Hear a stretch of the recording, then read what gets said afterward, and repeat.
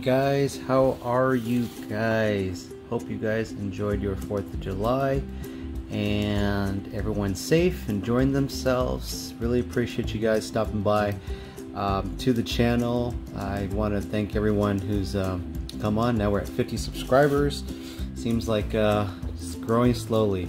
So um, if you guys do get a chance, please um, comment below, like the video, and please, as always, subscribe. Really appreciate uh, as the card collecting hobby is getting up there. I'm learning so much. Um, as I mentioned before, I am a Syracuse MBA student, uh, very close to graduation, active military. Um, got a few more years to retire and trying to find things that I'm passionate about, which is sports and card collecting and investing. I hope you guys enjoyed the video I did uh, about a day ago on my five tips um, when it comes to card investing and flipping. And this is my rookies. Um, I'm not too sure if I'm going to go with five rookies per se. This is going to be kind of all over the place, but uh, I will go in order from number one to five uh, in that sense. But there's little areas I will be going sidebar um, when it comes to what basketball rookies I'm thinking will be worth investing in. And of course, with the NBA season coming back, uh, fingers crossed, in approximately two to three weeks, uh, the anticipation, excitement couldn't be uh, any uh, greater. And so, uh, sports cards, of course, have been picking up like wildfire, absolutely nuts. Uh, I started the hobby back on May 1st, and um, I actually had some old cards that I bought two, three years ago. Um, like I said, being a Laker fan, we see the Kyle Kuzma over at the end. Um, just got me into the hobby and uh, applying my sports knowledge, uh, I really feel that um, it has an advantage if you have to have some kind of knowledge when it comes to the cards, right? If you're going to invest something into you like and of course enjoy. So uh, let's get to it, and here are my top five rookies and miscellaneous that I think people should invest in. So let's get to it. Guys, LT is back. I am your host. Uh, let's get on this journey, guys. So I want to do a disclaimer, guys. I am uh, very excited uh, as my channel is growing and people are growing more with the hobby. Uh, I'm seeming to having difficulty. I have this on eBay selling for 25. I actually dropped the price. It's a Kyle Kuzma. I have nothing against him. I just don't think he's the future for our team, uh, being a Laker fan, and I really don't have any interest or um, faith in him as a player, uh, at least on a Laker. And the PGI Pristine Grading International, which I bought this card for, I looked back about 25, 30 bucks back in 2017. Um, I really have no interest in this card. Like I said, it's obviously in great condition as I've kept it. So here's the thing, guys. As my channel grows, I'm gonna give a little incentive to you guys. Uh, if we get to 100 subscribers, number 100 subscriber, I'm gonna be monitoring each weekend. I will give this card to my 100 subscriber for free. So uh, let's get the subscriptions up. Let's spread the channel out, guys. Um, 100 subscriber. And um, not only that, but I think with the comments and likes, as I have more people um, getting into the hobby and whatnot and uh, watching my channel, um, I think the most engaged comments and whatnot will get um, this card as well. So as I do more videos, guys, I'll get more um, into details, but let's stick with 100 subscribers uh, right now. And this card will be yours. So definitely uh, little incentive right there. And thanks for helping me out, guys. Um, so let's get started. My number one guy right now um, is in the 2017 draft class. Lot of people think Jayson Tatum, which I do have his cards, is the best guy of the draft. Uh, when it came to 2017, obviously Kyle Kuzma's in that one, Lonzo Ball, number two pick, number one was Markelle Fultz. Oh, by the way, I have the whole lot right here. So actually, here is the top five players of the draft. So you have Markelle Fultz, Lonzo Ball, Jayson Tatum number three. Oops, my bad. Uh, you have Josh Jackson number four on the Suns, and then DeAndre Fox number five. So actually, before we get into that, I wanted to tell you guys I got an absolute steal on this. So check this out, guys. So I got this lot right here. This is all, not all, but I think this is at least 25 of the top players of the 2017 draft class. There's my Donovan Mitchell. That's my number one player, by the way, which I'm gonna jump into. Um, but I got this lot for 20 bucks right here. I talked this guy down $10 because I bought three sets from him. Actually, what started it was this one right here. So Kyle Murray, I thought this card was absolutely gorgeous. And you won't believe this, I paid $5 for all three of these. Actually, I think, no, actually it was $8. But gorgeous rookie cards. Kyle Murray, um, did I say Kyle Murray? Sorry, Jamal Murray, my bad. Uh, Jamal Murray, these cards is what struck it out for me. So what I did was, a little tip for you guys, when I go into lots, what I do is I negotiate with the seller on eBay. And I got this for approximately $8, right? And then what I did was after I got this one, I figured, hey, if he has this listed for $30, assuming it's a he, um, I talked it down $10 off since it's an incentive for sellers to give you all their cards in one shipping so they don't have to pay three times, right? So there's an incentive obviously to both parties. So I got this for 20 bucks. And then get this one, guys. This right here, my friends, I think was the steal. So these are uh, optic cards right here. Sorry guys, my sleeves are a little bit tight uh, on here. So this is the Rookies edition. I don't want to damage these cards. I actually bought some more sleeves today, so I'm gonna move them over after the fact. But these are absolute gorgeous cards right here. Panini Optim cards, uh, optic cards, sorry. And they have kind of a hologram to them as well. So I got these guys.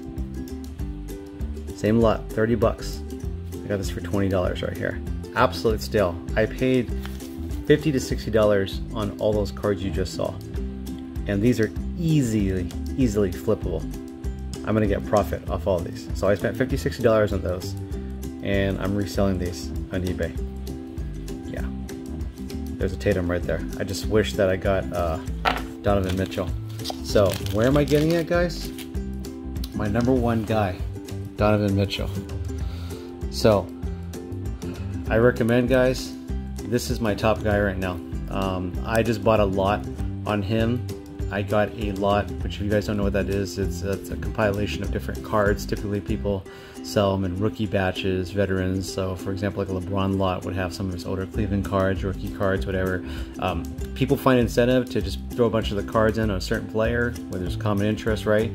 And I got, um, which I'll do another video on, I got 13 cards of Donovan Mitchell for $10. Absolute steal. There's a couple rookie cards in there, which I can't wait to show you guys. But Donovan Mitchell, if you guys watched my first mail opening, I think this is my first and my second mail. Um, I got these right here for altogether $60 right here. So if I remember correctly. But Donovan Mitchell is a guy that I really, really believe in. Um, I just think in Utah, uh, the whole thing with the Rudy Gobert situation. Here's the NBA hoops, by the way. Uh, it seems like these Prizm Emergence are really popular. They're refractor, whatnot, but obviously these are PSA 10s right here. So I feel that these are great investments uh, for the long term and obviously the short term if I decide to flip them.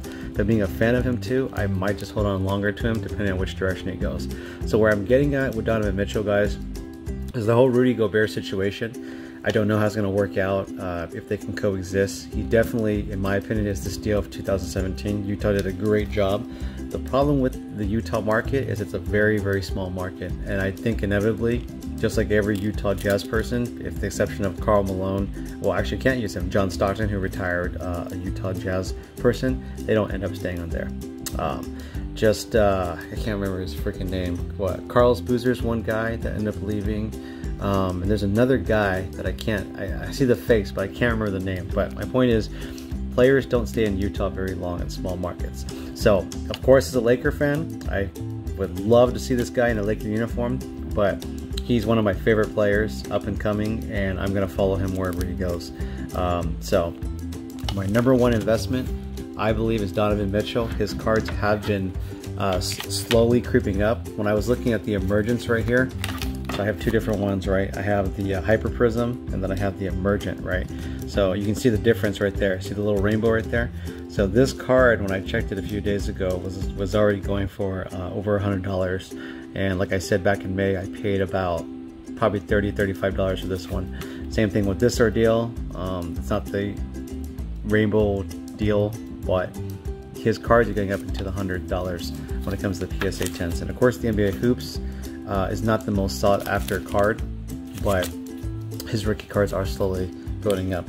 So my recommendation, my number one guy, Donovan Mitchell, if you guys um, are looking to investing. And guys, just remember with NBA season coming up, guys, um, these cards are only going to go up and up. And whether you decide to flip them or hold them for the long-term investment, people are going to go crazy for basketball cards. There is, uh, I don't think there's any debate about that. So here's my other guy, Trae Young. Now, Trae Young, guys, he uh, signed with Clutch Sports which is LeBron Anthony Davis's agent, Rich Paul. I don't have to say much to there. Once again, it's all tied to the Lakers, right? But Trae Young, guys, is my number two pick uh, cards. I actually just got a couple of lots of him. I actually got absurd, stupid, cheap prices um, on there. And like I said, guys, on eBay, I watched the as sold, right? The sold completed. If you look in the filter section, and I'll get into another video where I go into eBay and um, my tips and show you guys a tutorial on what I'm doing exactly. But um, Trae Young, guys. The rated rookie optic card right here. This one I bought for $30 uh, back in May and I think it was midweek. And this card I've already seen is close to $100. Uh, I saw the last one sell for $60, $70 when I checked uh, right before 4th of July. But absolute gorgeous card, guys. Rated Rookie Optic card, these things, and this is not a base model either. So I got a hologram, which I plan on sending to get graded. Um, his cards have been going crazy, crazy, crazy. I wish I could show you the other Trae Young cards I have coming in the mail, but that's another day. Just two examples too that I pulled out. If you guys watch my mosaic one, um, now that I've learned that these are silvers, these are not uh, necessary base ones. These are definitely have some value with the Trae Youngs, so I'm going to hold on to these and probably grade them. But these are my long-term investments right there. And really, with the, the lots that I sold or, or I ended up buying was one of his uh, optic cards, which is this one and there was a couple other two. I can't remember the top of my head right now. But like I said I will show you guys uh, once I get that. I'm gonna probably do the individual player as I have more time. But Trae Young guys really the future's bright with this kid in Atlanta. Um, you know Kobe Bryant uh, is one of his idols and he really really loves the game of Kobe. And I just think that with Trae Young he's a great investment my number two pick. If you don't believe me go on to his prices in eBay. Look up his rookie cards and you'll see what I'm talking about. Get them while you can. They're they're they're um, reasonably affordable. And then if you're looking for lots too, just like with Donovan Mitchell, look for those lot cards, guys. Rookie card lots are going to be honestly the better bang. So, for example, if you're looking for this card, right, and it's selling for let's just say 40, 50 bucks, buy it now. Or if you're bidding for the card, right, if you go in, put the same card, you look for the lot, right, you might find this same card in two, three other rookies. You might pay a little bit more, but hey, if this is going for $40, just using an example, and then another lot $60, right, and you get two, three other cards of it, why not go for the lot, right? Just my opinion. All right. Uh, number three, number three, um, Jayson Tatum, guys. So Jayson Tatum, I pulled this out on the mosaic. Here's another silver right here. Jayson Tatum is definitely going to be the future for the Boston Celtics. Uh, one of the guys for sure. Um, Jayson Tatum, I really, really think he's going to be the future uh, part of it with Jaylen Brown. Um, just, just depends with what they're going to their plan with Jayson Tatum with his contract and what they're going to do for the long term is going to matter. So it's going to be really interesting to see how the Boston Celtics are going to try to sign all those young players uh, that they had, especially with Gordon Hayward coming up on his last contract, right? So right here, guys, this lot that I got of Jayson Tatum, and I learned something with the Tatum, right? So, as my number three pick for Jayson Tatum, investments rookie cards, uh, along with the Donruss cards, there's the optic version, which is more of the pristine card that people look after. Uh, Rated Rookie is still a popular one with the Donruss logo. When you're looking right here, look for that optic logo because the optic one, think of it like Topps and Topps Chrome. Uh, after doing numerous, numerous research, I learned that there's a difference between the Donruss and the optic, but the optic ones are the more popular ones, uh, of course. So these are a very base model, but still a good investment. Um, if you don't believe me, if you look for this card just in general right here, his card is going for at least $40 right now. It depends if you're going for a bid or buy it now. Um, this was a lot as well. I bought this lot right here that included this card uh, I paid about $35. No, no, no, I'm sorry. I paid $17. So I was thinking of another lot. That's how many cards I bought. But uh, $17, guys. Great deal right here. I got this this card, the base model, of course, as a rookie card. Um, this ordeal right there. I actually, it might have been in my mail uploading actually. So here's the second year card right here for the Celtics. And the My House cards are absolutely gorgeous. Love these little hologram reflector deals. So those things are definitely going up in popularity. And another Jayson Tatum Optic card. Looks like it's the second year. So it's not bad, man. Paid $70 for these cards right here. And I forgot to mention that this got thrown in as well. So I got five cards right here. Really good. Another rookie card right there. So I'm telling you guys, there's a lot of good deals on there. But like I'm saying with Jayson Tatum, guys, unless the Celtics give him the contract that he so deserves um, as the number two, number three pick in the 2017 draft, his card prices are going to go only rise and rise. So that's the fun part about this card market is that everyone has their different preferences on players and whatnot. But in reality, you know, at the end of the day, what's what's it going to do for uh, people? You know, what what what is the popular person? What what is the flavor of the week, right? Um, so that's my number three guy, and I guess not go to number four. So I I'm lying. I'm not going to number five. So these are the four rookies right here because I don't have the other cards that I've purchased to show you guys uh, in in that regard. Um, interesting as I'm going with this video right here. Sometimes you get little steals when it comes to eBay. Okay, I have a funny story with this. I don't know if the other people who are into car collecting, investing, and flipping, if they've gotten into this problem. But I have a nice PSA 10 right here, Luka Doncic, that you can see just emergent, has tons of scratches and beat up card. Okay, this guy had it at a bidding starting for uh, 19.99, and then I did an offer to him. Uh, I think I put 40 50 dollars. Right, you always gotta try to go for the lower deal and I am buying this card for $80. So after tax and shipping, it went to close to $90, $94. And it came damaged, um, obviously, as you can see here. And uh, it took me two weeks to get this card. And I messaged the guy, and he had no idea that the card was missing. Really professional, really nice guy. Um, really frustrated, you could tell, with the mailing mailing system. So USPS, which is the most popular with eBay when it comes to sending these cards out, because um, it's the cheapest he could not locate this card, uh, so he went to the post office and they said that uh, it was supposed to be coming out, but it never ended up coming. And so, lesson learned for him, he should have done a better job at protecting this thing because it's a PSA 10 Gem Mint. Uh, this card right here, as I was looking, is going for over, I want to say 150 to 200 dollars when I was looking the other day, and it came damaged. So what happened? I messaged the seller, and of course, as a seller, as I told you guys before, the seller has most of the crap. The buyer has all the rights, so he had to refund my money. So I got that back, and I asked him, um, "Can you? Do you want your card back?" And he said, "No, just keep it." He was extremely frustrated. So I'm gonna send this out to PSA and get this graded. And what I've done researching with PSA 10s already, if it's already in the condition, there's no reason why it can't go back to 10 uh, or a 9 if somehow it got damaged. But I'm not opening this up as I'm still learning with this process. But uh, I made $90 essentially. I mean, essentially, I got a free card here and potentially could double the price. So these are sometimes the little lucky things you get in, I guess. But funny story. Uh, so Luka Doncic, number four pick.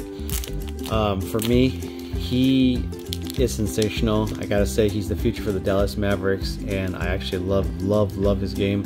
Um, he's been compared to Magic Johnson, and if you watch his style ball, he can pretty much create any kind of game and shoot from when he needs to. So Luka Doncic right here, the rated rookie, and this is a mistake as I'm learning. I don't want to call it a mistake, but I paid 40 $45 for this these two cards right here. So I got a rated rookie Donruss, but it's not the optic one, which is the ones that a lot of people want. Those are going to be the higher value, of course. But I think for 45 when I paid for this in May, wasn't too bad of a value. So, still a gorgeous card. And I forgot to mention on the card that look, I really studied the edges, right? Look for the little um, whitening, of course. These cards are, you don't see right there, but obviously surface and everything. Obviously, it depends on the package too.